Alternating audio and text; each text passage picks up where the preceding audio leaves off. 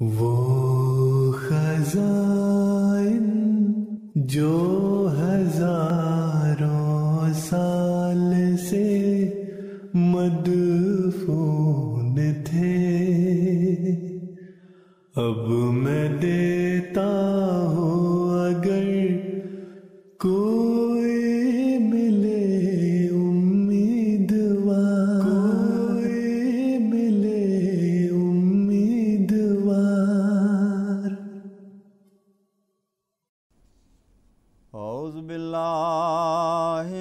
औज़बिल्लाहिमिनश्शैतानिर्रजीम बिस्मिल्लाहिर्रहमानिर्रहीम।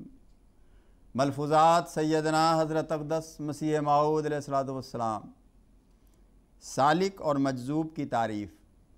हजूर अलैहिस्सलाम फरमाते हैं, वो इंसान जो आप मेहनत करता है, उसे सालिक कहते हैं और जिसे खुद खुदा देवे, वो मजजूब होता है।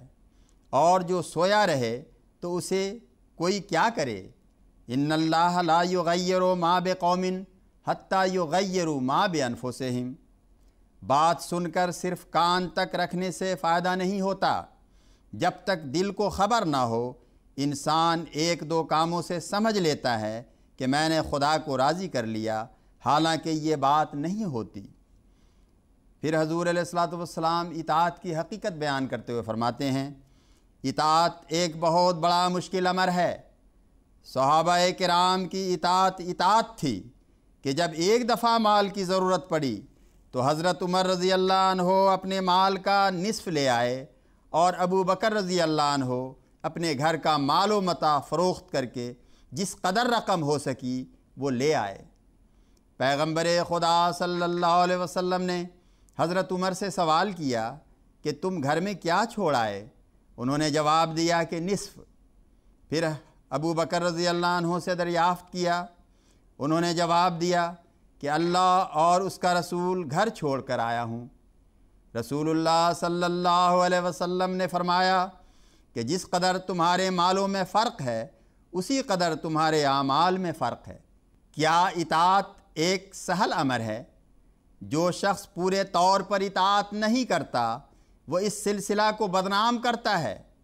हुक्म एक नहीं होता, बल्कि हुक्म तो बहुत हैं। जिस तरह बहिश्त के कई दरवाज़ा हैं कि कोई किसी दरवाज़ा से दाखिल होता है, कोई किसी से। इसी तरह दोजख के कई दरवाज़ा हैं।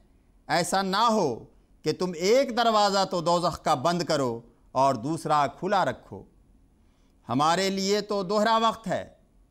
गवर्नमेंट भी एक तरह से मुखालिफ है, क्योंकि अगर गवर्नमेंट को हम पर ईमान होता तो वो हमसे कहती कि दुआ करो।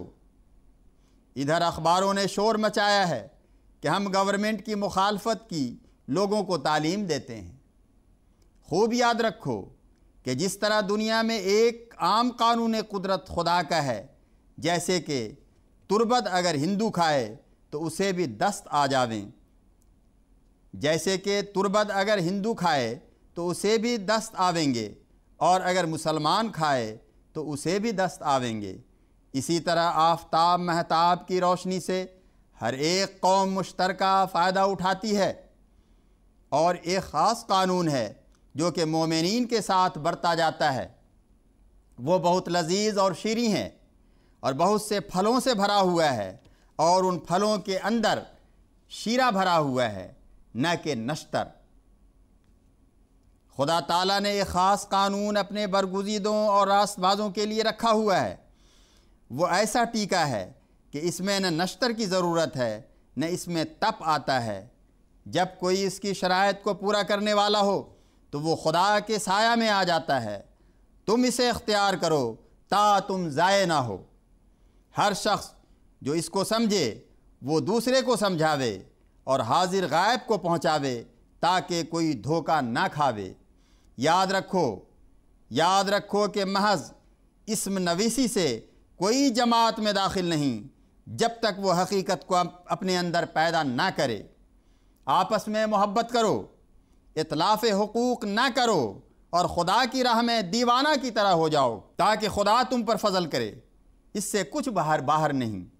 हर एक को वाजिब है कि खूब समझे और अपने भाई को समझावे और घर में औरतों को समझावे हाजिर गायब को बतला देवे धोखा खाने वाले बहुत होंगे, क्योंकि इब्तदाई हालत से इसम नवेसी करवा कर ये कोई ख्याल ना करे कि सिर्फ़ इतने ही फ़ेल से वो खुदा की हिफाजत में आ गया। अल्लाहुम्म सल्ली वाल मोहम्मद, व बारिक वसल्लम इन्नका हमीदुम मजीद।